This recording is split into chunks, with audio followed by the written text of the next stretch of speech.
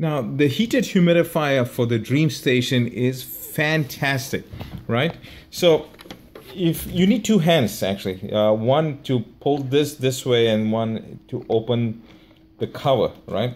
I already loosened it up, so it makes it easy for me to do it one hand. And the first thing you see is your chamber. This humidifier chamber is so much easier to clean. And the best part, you can put it in the on the top rack of your dishwasher okay? That is the hot plate. What happens is the hot plate heats up the distilled water and you get more moisture. You want more moisture? Make this hot plate hotter. If you want less moisture make that hot plate cooler.